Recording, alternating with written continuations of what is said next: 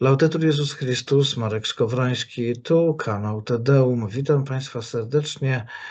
Dzisiaj Państwa i moim gościem jest ksiądz Marek Bąk. Laudetur Jezus Chrystus, witam księdza serdecznie. In secula seculorum amen. Proszę księdza, e, fajnopolactwo dla piekła jest radością, dla nieba jest smutkiem, a dla Polski utrapieniem. Czym jest to fajnopolactwo? Jest to postawa y, wyhodowanej nieodpowiedzialności za siebie, y, której dominuje nieświadomość prawdy, przeznaczenia, prawdy naturze człowieka, gdzie prawdę i obowiązek zastąpiły sensacje, chwilowe informacje sytuacyjne oraz porządliwość łatwego, bezbolesnego życia, który ma być niekończącą się zabawą. Rozrywka jest pożądaniem stałym i jakby fałszywym programem na rozwiązanie problemów. Jest problem, bawmy się. Nie mamy, nie mamy możliwości bawić się, to jesteśmy nieszczęśliwi i dokonujemy aktów i faktów nieprzemyślanych, nieodpowiedzialnych. Oczywiście mm, człowiek w tej postawie ulega odczłowieczeniu, y, jest zdegradowany w sobie tak bardzo, że on jakby traci kontakt z sobą i orientację.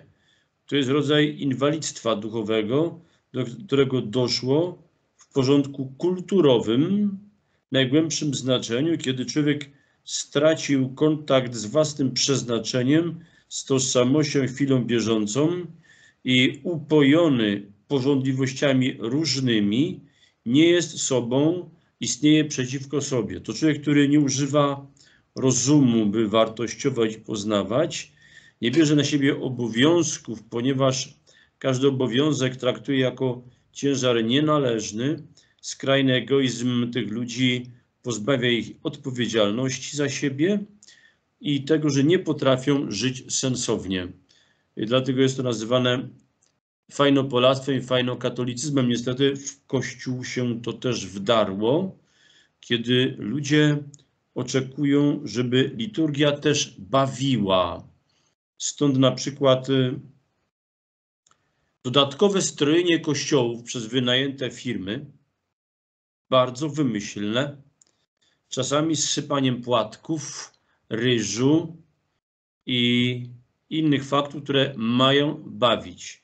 Stąd y, próby wejścia również z muzyką światową, zwłaszcza w czasie ślubów, kiedy już pobyt w kościele ma bawić, ma być rozrywką, ma być jakimś wydarzeniem show, które będzie widowiskiem dla innych.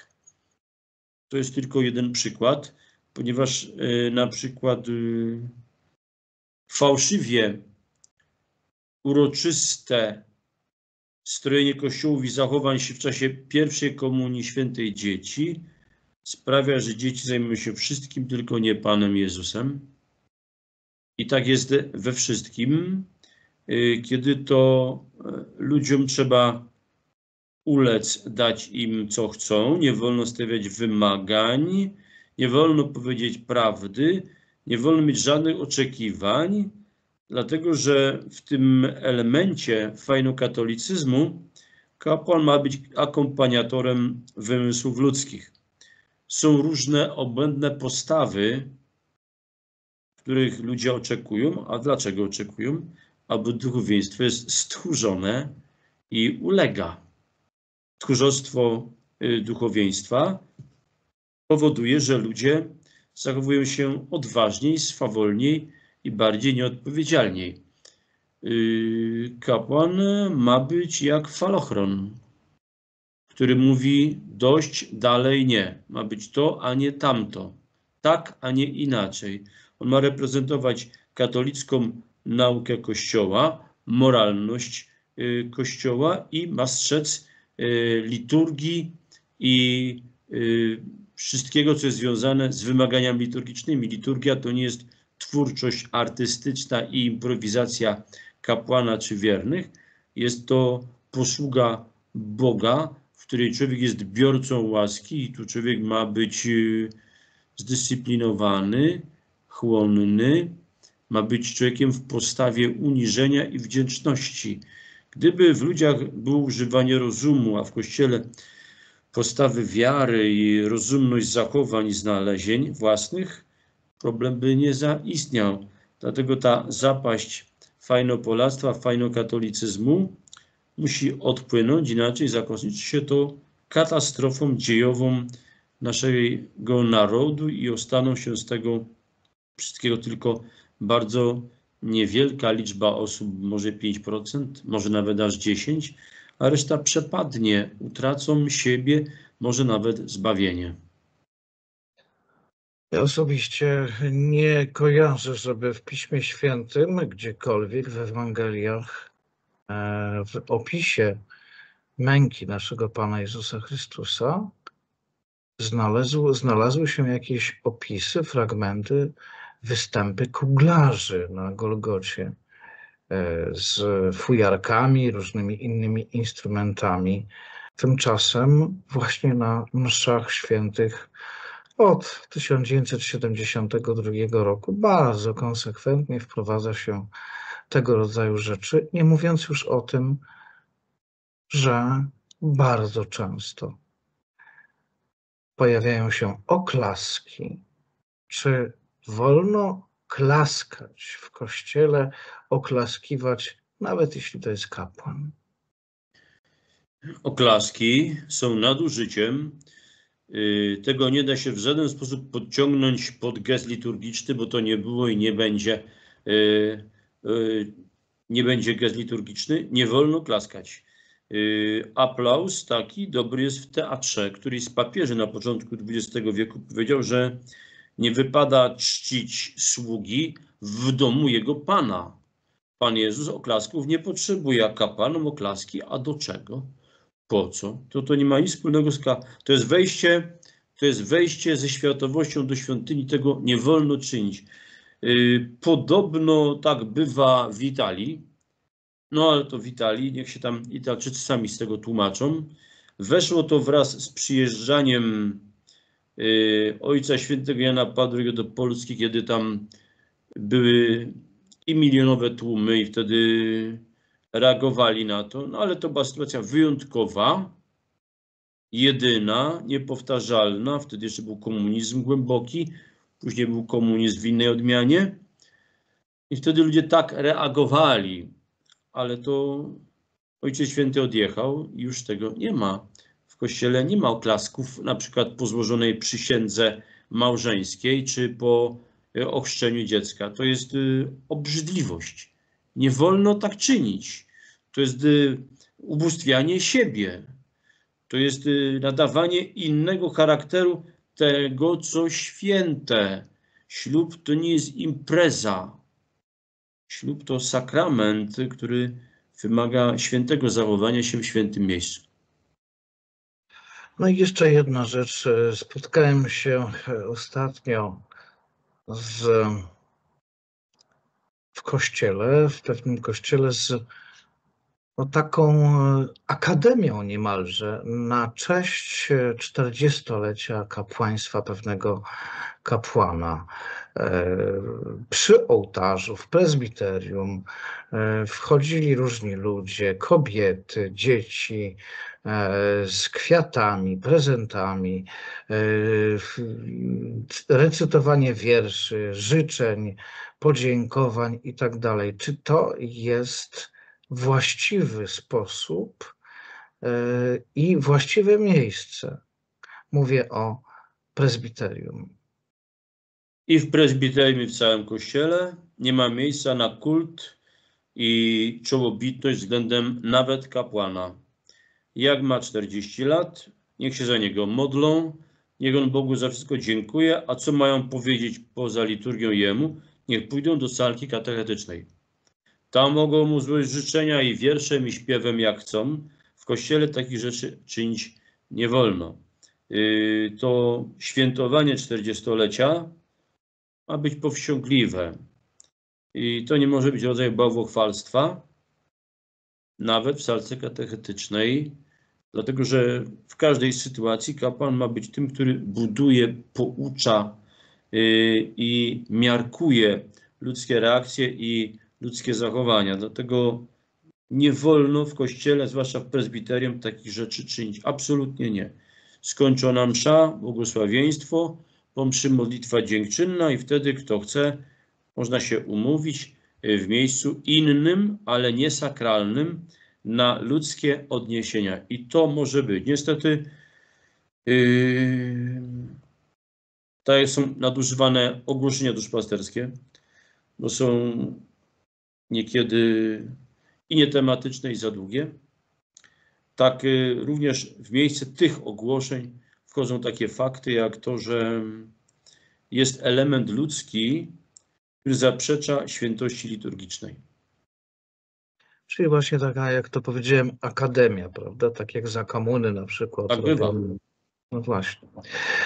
E, Proszę księdza, e, mówiliśmy, zaczęliśmy o fajnopolactwie. E, Nie bez kozery. 42% e, respondentów odpowiedziało, że nie miałoby nic przeciwko temu, gdyby z powrotem wprowadzono nakaz noszenia maseczek. O czym to może świadczyć? o zniszczeniu narodu, o jego takim zinwalidyzowaniu, że ludzie już nie dysponują sobą i nie chcą sobą dysponować, utracili wolność, stali się niewolnikami, oddają się oprawcom do dyspozycji dla jałowego spokoju, dla akceptacji, ponieważ strach żyć, żeby nie czuli się atakowani, dlatego nie biorą odpowiedzialności za siebie i z tymi ludźmi można już bardzo wiele uczynić. 42%. Nie, ta liczba się obniży. Yy, nie da się wprowadzić yy, tego, co było, bo to, co było, było bezprawne i wielu ludzi postawi się i wygrają sprawę również w sensie prawnym w naszym, naszym państwie. W ostatnim czasie, w ostatnich dniach, obywatele zaczęli tworzyć w poszczególnych miastach patrole obywatelskie. Głównie są to tak zwani kibole. W odpowiedzi na ataki na Polaków, Polki, przede wszystkim na dzieci i kobiety, ze strony obcych przybyszów.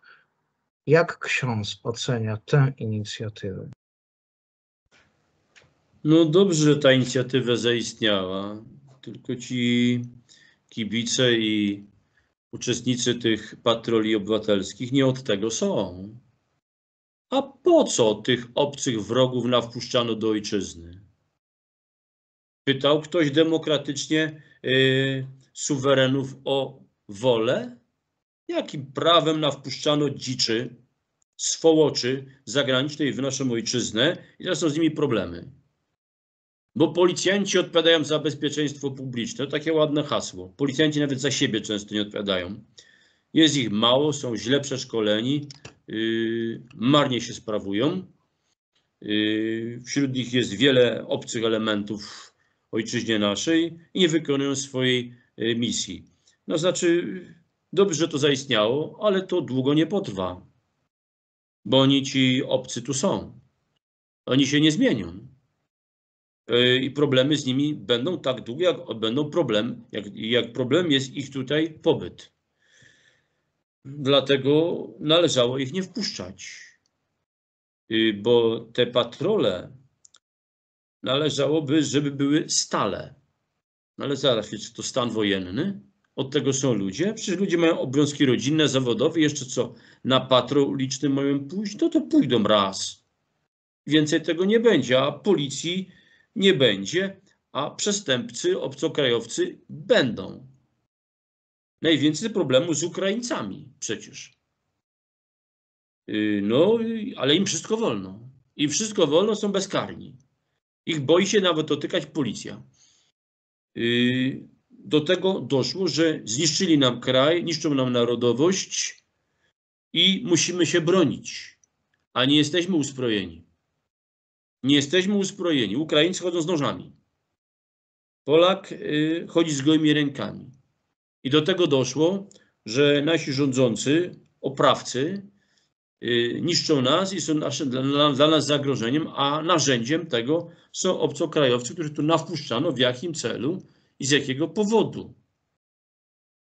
No cóż, nasi rządzący tu nie mają nic do gadania, wykonują dyrektywy swoich właścicieli, bo sami są niewolnikami na stanowiskach, ale nie służą ojczyźnie naszej. Yy, Myślę, że Polacy muszą być coraz bardziej aktywni, świadomi i żądać. Żądać i zmuszać żądaniami do pewnych nowych yy, wzorców, nowych postaw, yy, nowych yy, zachowań policji, a może wreszcie należałoby na ulicę wypuścić również i wojsko w obronie Polaków. Polaków, nie obcokrajowców. Może by należało wreszcie obcokrajowców zgromadzić w obozach dla obcokrajowców. A może należałoby ich wyposażyć, nie wiem, w rację żywnościową na 2-3 dni, 100 dolarów do ręki i do ojczyzny swojej niech wracają. Może no to tam by należało. Po co ich wpuszczać? Niemcy wpuszczają do nas y, y, tych, których nie chcą. Nasza granica jest otwarta. Nikt nas nie broni, a tamtym wszystko wolno. Zaczepiają, atakują, gwałcą i mordują. I dane te są dość mocno utajniane. Nie wszystko się mówi. Yy, dlatego reakcja obronna naszego społeczeństwa jest dobrze, że jest. Jest konieczna, tylko powinna być stała i wszechobecna. No, yy, nie stać nas na to. Ludzie mają swoje osobiste życie, a nie jeszcze iść na patrol, pilnować porządku, ponieważ e, nasze służby, funkcjonariusze i urzędnicy nie robią tego. Jeszcze za mało urzędników, za mało służby mamy. Mamy kilka służb trzyliterowych i policji sporo. Bardzo proszę, niech wykonują swoje obowiązki, aby a może trzeba odizolować obcokrajowców, aby nie mieli dostępu do nas. Trzeba postawić sobie pytanie, zażądać i trzeba wykonać skutecznie obronę Polaków. Polaków trzeba bronić w ojczyźnie swojej. No tak, ale była mm, pe- pewna pani, pewna pani z lewicy powiedziała, no i co z tego, że zginie nawet jeden Polak, ale tysiące obcych zostanie uratowanych. Ta pani jest odklejona. To, to, co ona mówi, to się ma nijak do logiki rzeczywistości, ale jej objawy jeszcze się nie leczy. Może jakaś szczepionka by jej pomogła? Tymczasem kolejna bardzo bulwersująca sprawa. E, Minister zdrowia, czy też jak oni mówią w tej chwili, ministra e, Leszczyna nałożyła na jeden ze szpitali w Polsce karę pół miliona złotych za odmowę wykonania zabiegu zamordowania dziecka nienarodzonego. Czy księdza zdaniem w Polsce rodzina jest bezpieczna? Już mówię. Są dwie sprawy. Po pierwsze, ta pani nie ma rozumu, bo poprzednicy ze szpitali uczynili przedsiębiorstwa finansowe. Trzeba podpisać kontrakty obliczone na jakąś kwotę, jakieś tam punkty są, których nie wolno przekraczać. Czyli wolno leczyć do określonej kwoty finansowej. Tego za komuny nie było. I kogo ona obciążyła? Szpital, to znaczy co? Lekarzy, pielęgniarki, sanitariuszy? Nie, ona obciążyła szpital jako instytucję i ten szpital dostanie pół miliona mniej na leczenie pacjentów. To kogo ona ukarała? Ona ukarała ludzi, którzy nie będą leczeni yy, za te pół miliona złotych, yy, które mogły być wykorzystane do leczenia ludzi. Kogo ona ukarała? Niewinnych ludzi. Szpitala, instytucji nie da się ukarać. Można ukarać człowieka, nie instytucję. Y, A kogo mam ukarać? Dyrektora? No dyrektor nie stracił pensji. Ginekologa też nie stracił pensji, więc to głupota. Ta pani też jest odklejona. Ona rozumu nie ma. Oni żyją w rzeczywistości yy, ciężko chorej. Yy, Polacy nie są bezpieczni. Ani w szpitalu, zwłaszcza teraz od nowego roku, kiedy będą prawdopodobnie wyłączać aparaturę ludziom nieprzytomnym yy, pod pretekstem jakimś tam prawnym, czyli będzie ukryta eutanazja. Teraz trzeba będzie nieprzytomnych pilnować fizycznie, żeby ludzi nie mordowali. Yy, Rodzice nie są, rodziny nie są bezpieczne w szkołach. W szkołach teraz się proponuje rzeczy, również w dalszym ciągu fluoryzację. Kiedy wiadomo od dziesiątków lat, że fluor jest trucizną, żrącą trucizną, to w dalszym ciągu oni chcą fluoryzować yy, dzieciom niby zęby. W jakim celu? Skutkiem tego jest, yy, że fluor niszczy szyszynkę, która później jest yy, obwapniona i nie funkcjonuje. Yy, No ale takie rzeczy się robi. Nie ma bezpieczeństwa, dlatego tutaj są potrzebni świadomi, mężni rodzice, zwłaszcza ojcowie, którzy powinni bronić rodzin. Ojciec ma bronić poczętych dzieci i zrodzonych też. Aborcja, czyli morderstwo. Dlaczego morderstwo dzieci nienarodzonych jest dozwolone w dalszym ciągu? Jakim my jesteśmy barbarzyńskim krajem, że to jeszcze jest yy, to hitlerowskie prawo u nas funkcjonuje i jeszcze funkcjonariusze naszego państwa krzyczą, że za mało tych mordów. Otóż yy, oni są silni, bo my jesteśmy słabi. Za mało podnosimy głowy. Za wiele sobie pozwalają, bo my im na to pozwalamy. Musimy się zdynamizować. Tak jak yy, kibice zorganizowali patrole społeczne, tak my potrzebujemy jakiegoś innego rodzaju reakcji, jakiejś, pat, jakichś patroli, czy tylko duchowych, również i prawnych, realnych, by bronić ludzi przed morderstwem, gdy mają się urodzić. Człowiek ma prawo się urodzić, a matka, ojciec mają obowiązek być sługami narodzin człowieka. Intronizacja. Rzecz bardzo ważna, do dnia dzisiejszego nie przeprowadzona, bo powiedzmy sobie wprost, to co było w 2016 roku, to było zaledwie takim uchyleniem, rozszczelnieniem drzwi. Niektórzy twierdzą, że do niej doszło 31 października 2000 bodajże 20 roku. Natomiast, proszę księdza, skąd moje pytanie? Czy Pan Jezus chce, czy godzi się, może w ten, w ten sposób, czy godzi się wprowadzać Pana Jezusa do ojczyzny, w której dzieją się takie nieprawości? Zwłaszcza z powodu tego, że takie podłości się dzieją, to wprowadzenie Pana Jezusa jest koniecznością. Za mało Boga, za dużo grzechu.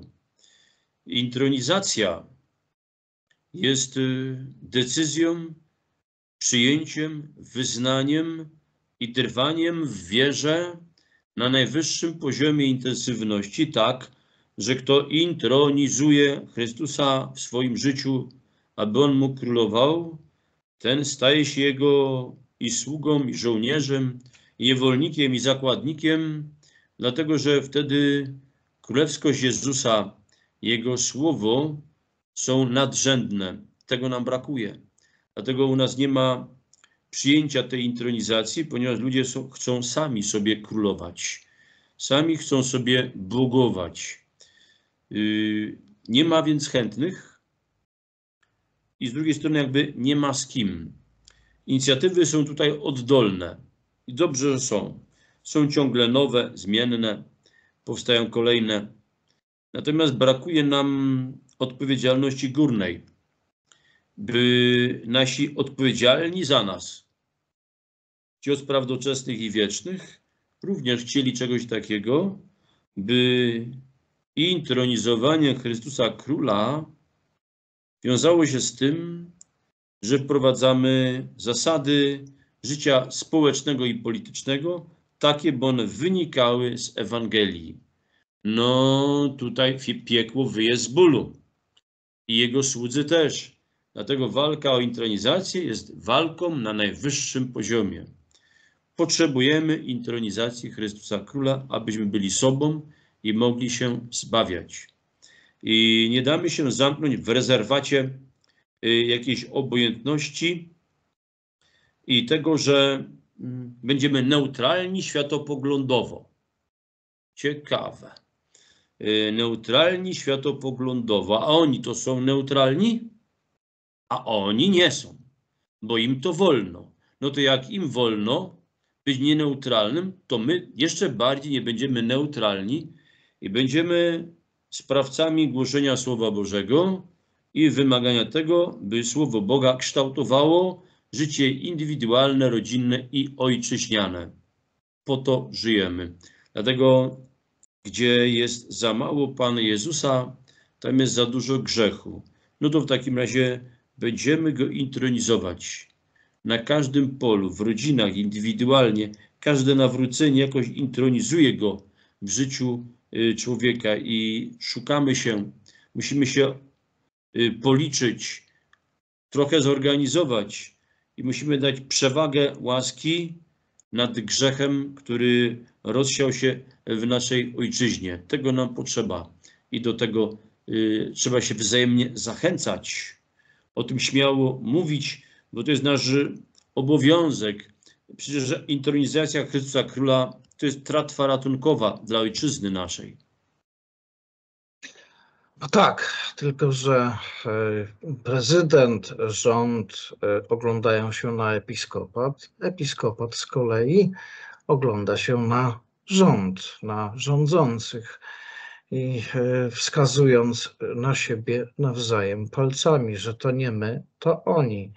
Jeśli oni nie będą chcieli, to my nic nie zrobimy. To jest ich problem. Niech oni się sami nawracają, niech się sami dodgadują. Yy, trudno mm, doradzać ludziom z górnej półki. To jest ich odpowiedzialność. Piekielna odpowiedzialność. Chcieli urzędu, to mają. Bardzo proszę, ciężar krzyża urzędowania jest wielki, a odpowiedzialność wieczna. Ja tutaj nie podpowiadam się, nie wypowiadam. Nie zazdroszczę im. Co w takim razie mamy zrobić my, zwykli ludzie, zwykli obywatele, ale też zwykli wierzący katolicy? Nie patrzeć na rządzących, na przewodników i nadprzewodników. Niech każdy pilnuje siebie, niech każdy się za siebie nawraca. Niech każdy ma wgląd w swoje sumienie, będzie sumienia, łaski i przyjętej powinności. Człowiek nawrócony jest największym darem dla ojczyzny i dla Kościoła. Największy dar dla Kościoła i ojczyzny to jest osobiste nawrócenie się. Niech się ludzie nawracają, nie sobie schlebiają, Niech nikt nie czeka na oklaski i podziw, niech się nikt nie nadstawia po medal i nagrody. Niech każdy będzie wyrobnikiem tam, gdzie jest. Niech pełni wolę Boga, y, obowiązek chwili i stanu. Niech wykonuje to wszystko, co wynika z bieżącej sytuacji, gdzie cześć ludzie Bogu oddają i sobie wzajemnie służą. I tego trzeba. Potrzebujemy milionów ludzi zwróconych ku Bogu i nawróconych, nawracających się. Potrzebujemy milionów ludzi wdzięczności skruszonego serca. Potrzebujemy milionów ludzi zawierzonych Bogu przez Matkę Najświętszą. I wtedy, jako ludzie miliony razy zdrowi duchowo, utworzymy na powrót naród katolicki, naród zwycięski, gdzie będzie kultura kwitła między nami, gdzie będzie nam łagodnie i pięknie w tym przedsionku do ojczyzny zbawionych. Bardzo dużo mówi się o miłości, zwłaszcza po Soborze Watykańskim II. To słowo miłość, odmieniane przez wiele przypadków. Czym jest służenie w miłości? Miłość jest to dar z siebie.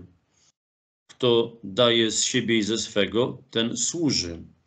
Tu jest potrzebna poznana prawda, by wiedzieć, co trzeba drugiemu, by mu dać to, co jest mu potrzebne, a nie to, co on chce, dlatego że trzeba być mądrym i nie karmić egoizmu, na przykład y, ludzi jakiegoś rozpasania, leniów czy innych ludzi wady głównej. Y, Potrzebuje człowiek zawsze prawdy, chleba, y, obecności, uwzględnienia, wysłuchania. Więc służymy człowiekowi tym, czego mu potrzeba do zbawienia, nie do pławienia się w świecie, nie do spełnienia marzeń i oczekiwań, tylko to, co mu potrzebne do uświęcenia. I to y, bierze się przez y, miłość, która jest miłością funkcjonującą, czyli służebną. Oczywiście podstawą wyjściową do miłowania jest to, by ten, kto chce miłował, miłować, mógł dać siebie i swoje, czyli musi być wolny, musi siebie posiadać i sobie panować. Siebie posiadający i sobie panujący może złożyć siebie dar i drugiemu służyć. Zniewolony bowiem, który y, musi, czyli nie może, bo musi, nie jest w stanie z siebie uczynić daru, ponieważ on jest obciążeniem społecznym dla innych i, i jest również problemem dla siebie. Więc taki nie tylko nie kocha, ale jeszcze innych wysysa. Jest daleki w postawie od służebności, on bowiem jest jakimś oczekiwaniem yy, i roszczeniowością. Yy, Więc żeby tego yy, nie było, trzeba się nawrócić naprawdę o miłości. Miłość jest aktem woli, jest faktem, decyzją, to nie jest uczuciowość. Z miłowaniem wiążą się jakieś uczucia jakieś, ale one nie decydują o miłowaniu. Yy, Miłość yy, nie jest rozpasaniem grzechowym, nie jest udziałem w grzechach nieczystych. Miłość jest trudem na pożytek zbawienny drugiego człowieka. I e, wracając jeszcze do mojego pierwszego pytania dotyczącego fajnopolactwa i tego, o czym ksiądz przed chwilą mówił. W dzisiejszych czasach Pan Bóg, Pan Jezus e, jest traktowany jako taki brat łata, taki, przepraszam za określenie, frajer, e, do którego się podchodzi klepie się go po ramieniu, prawda? I mówi, no to co, Panie Jezu, to co, prze, przebaczasz mi, prawda, bo, my, bo jesteś miłosierny, no to Pan Bóg mi wszystko przebaczy, Pan Bóg mnie kocha, no to idziemy dalej. Łatwizna powoduje również fałsz poznawczy w trudach poznawania. Nie ma skutecznego przyjścia do Pana Boga bez skruchy. Tak jak człowiek, y, który jest y, częściowo spaliżowany, potrzebuje jakichś podpórek, y, by chodzić, jakichś przyrządów, by się przemieszczać, tak my do Boga, jako tacy kulawi, ślepi i y, zdefektowani, przychodzimy na protezach skruchy, uniżenia się i dopiero wtedy przychodzimy do Boga. Yy, Trzeba zgubić yy, własną ważność, poczucie własnej godności, bo się niektórzy ludzie tak upartnerzyli, że i do Pana Boga przychodzą, jakby do kogoś, kto zaprosił w gościnę i chcą ludzi być z Panem Bogiem na równi. Pan Bóg nie jest partnerem. Pan Bóg nie jest kumplem. Bóg jest yy, świętością najświętszą. To jest nieskończoność bezbrzeżna. Do Boga przychodzimy z drżącym sercem, jako winowajcy, nie po wyrok, bo grzech jest zapłatą dla siebie. Grzesznik już grzechem sam siebie ukarał, bo się przez grzech pozbawił Boga. Jakby Pan Bóg już nic tu nie musi więcej, bo człowiek grzeszny jest w zapaści, z której sam nie wyjdzie. Dlatego do Pana Boga trzeba przychodzić w uniżeniu, w wdzięczności, w skrusze, w skromności, w radości wielkiej, że On jeszcze się chce nami zajmować, że się nie zniechęca, bo Jego dobroć miłosierna jest jak rozrzutna, jest nieskończona, ale też y, człowiek nie ma chłonności do przyjęcia łaski, dopóki y, ma w sobie postawę zachowawczości. Dopóki chce być taki, jaki jest i przychodzi po akceptację, to on przychodzi po akceptację swoich grzechów. Panie Jezu, Ty mi zostaw moje grzechy, ale przebacz mi te grzechy. no jest obłęd. Y, Takie jest ludzkie czy rozumienie, chyba raczej nieporozumienie, niezrozumienie. Ludziom brakuje głębokiego myślenia, myślenia przyczynowo-skutkowego. Dlatego żyjąc płytko, żyją beztrosko, bezodpowiedzialnie i sami są oprawcami dni swoich. I w kontekście tego również e, jeszcze jedno pytanie. E, Bardzo modne ostatnimi czasy, od kilkudziesięcioleci jest takie powiedzenie: Jestem sobą, taki już jestem i się nie zmienię. Jeśli komuś to nie pasuje, to nie musi. Co to znaczy być sobą? Bo to tak brzmi, jakby mm, właśnie e, jestem ponad Bogiem. Czy Bóg istnieje sobie e, gdzieś tam obok, a ja, no a ja jestem sobą. Którzy mówią o sobie jestem sobą, ci sobie kłamią. Bo człowiek, który tak mówi, jest pysznym, wyniosłym naturalistą, który nie chce się zmienić, czyli nie chce posiąść daru Bożego świętości, czyli nie chce posiąść siebie samego w swej szczytowości rozwojowej. Świętość to szczyt. Jeżeli człowiek tego nie chce i ma pretensje do tego, by takim pozostać, by go takim zaakceptować, to to jest człowiek, który żyje według takiego innego kasła, jakiego mnie Panie Boże stworzyłeś, takiego mnie masz. To jest postawa e, człowieka leniwego, bezmyślnego, który żyje jak zwierzę rozumne, ale mając rozum, żyje nierozumnie, bo życie jest y, obowiązkiem i wysiłkiem, tak jak y, w bryle marmuru. Jest piękna rzeźba, tylko to, co niepotrzebne, trzeba zdjąć i artysta to potrafi. Tak człowiek musi siebie samego poddać obróbce duchowego wysiłku, aby wydobyć dla siebie to piękno duchowe, moralne, które w nim jest zakodowane, dane przez Pana Boga, trzeba je wydobyć przez współpracę z łaską. Dlatego człowiek y, nie może być takim, jakim jest, bo przecież niemowlę nie chce być niemowlęciem, dziecko nie chce być dzieckiem. Wszystkie dzieci bawią się w dorosłość. I wszyscy rozumni powinni jakby bawić się w świętość, czyli zabiegać o świętość dla siebie, czyli o Boga, który ich wyprofiluje, przemieni, przeobrazi, a oni się wmontują w Jego miłość i Bóg im wystarczy i Bóg ich przez to ocali. Y, Tak ma być. Człowiek y, nie może być naturalistą, bo człowiek jest stworzony przez Boga, by żyć y, życiem nadnaturalnym, czyli żyć łaską Boga, żyć życiem Boga, który się ludziom udziela, aby ludzie żyli na czwartym poziomie istnienia, nie żyć nie po ludzku, ale po Bożemu. Proszę księdza, bardzo dziękuję za dzisiejszą rozmowę. E, Poproszę jeszcze e, o pobłogosławienie nas, ale zanim e, to nastąpi, to też bardzo dziękuję księdzu. Wielkie Bóg zapłać za odprawianie mszy świętych w intencji tego dzieła Tedeum oraz w intencji naszych widzów i darczyńców. W sobotę ostatnią to było. Bardzo dziękujemy. Wielkie Bóg zapłać. Błogosławieństwo Boga Wszechmogącego, Ojca i Syna i Ducha Świętego nie stąpi na was i pozostanie na zawsze. Amen. Jeszcze raz wielkie Bóg zapłać składam księdzu za dzisiejszą rozmowę. Państwu również dziękuję. Państwa moim gościem był ksiądz Marek Bąk, a ja, Marek Skowroński, dziękuję Państwu za to, że są Państwo z nami. Laudetur Jezus Chrystus.